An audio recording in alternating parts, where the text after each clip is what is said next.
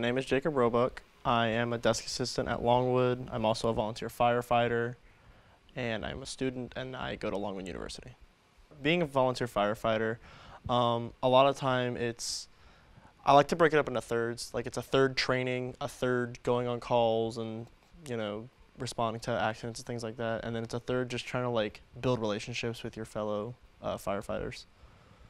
I actually didn't see myself doing it uh, a friend told me he was like, "Hey, I see your like willingness to learn and your passion for something you love. I think you fit in well here." So I decided to apply and fell in love. My major is criminal justice, and I want to become a police officer. And a good way to do that is start in emergency services. And this is one of the easiest ways because you start building connections. Like, you know, it always looks good to have a chief of a fire department as your letter of recommendation for a job. Like that always looks good.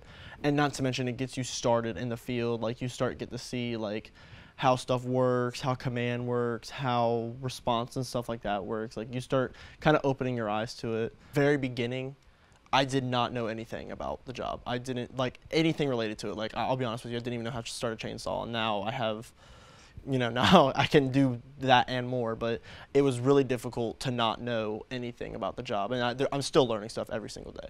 We all are. Even if you don't see yourself as someone who can do this job or you feel like you can't do this job, you can. You can always build up to working on something. Even if you don't think that you're physically capable of, you know, holding a hose line or searching, there's always a place for you. You can drive, you can do other things, but never give up on if you want to do something.